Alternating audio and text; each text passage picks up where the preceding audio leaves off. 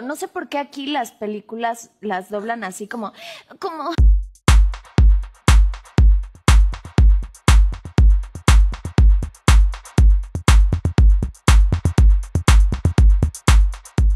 El día que nadie ayudó a Belinda. Por primera vez la cantante mexicana acudió al hormiguero, siendo que el artista está promocionando el videoclip que actúa como banda sonora de la segunda temporada de Bienvenidos Eden. No obstante, en esta misma presentación ha contado una anécdota que para muchos realmente es molesta, sobre todo por el contexto que se dio, mientras que para la cantante es embarazosa. Todo sucedió en la línea de Barcelona-Madrid. Estaba en el tren, en el tren no te despiertan, estaba dormida, súper cansada y tenía que llegar a Lazarote o a Teruel, no me acuerdo. Era a Teruel. Iba pasando las horas y yo estaba contenta porque iba durmiendo. Qué alegría, qué gusto porque no había dormido nada. No obstante, ese sueño fue tan profundo que se prolongó más de lo que debería. Mientras dormía de repente empezaron a llegar llamadas y mensajes a mi celular. Me preguntan que dónde estoy, que toda la producción preparaba para grabar el videoclip ya estaba lista. Yo le pregunté a un señor y me contestó que habíamos pasado mi parada hacia dos horas. Ante esto la propia cantante bajó rápido del tren. Como puedes imaginar, su propio vestuario no era nada apropiado para la ocasión. Iba en pijama, con las zapatillas del hotel y mi perrito con una camiseta de Prada. Además necesitaba ir al baño, pero no sabía que necesitaba un euro o dos para poder entrar. Prosiguió contando la propia cantante. Y es que al parecer tampoco llevaba dinero, por lo cual decidió pedir ayuda al resto de pasajeros. Nadie me ayudó, nadie me dio un euro para ir al baño.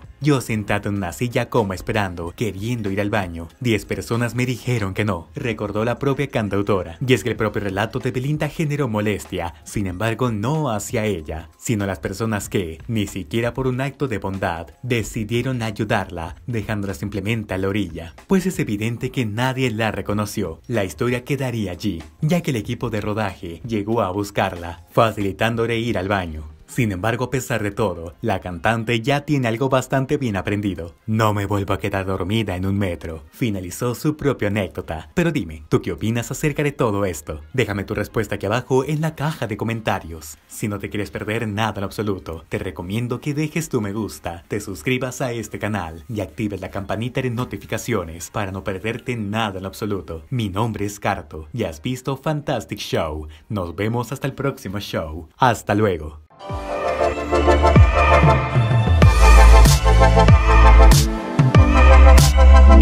We'll be right back.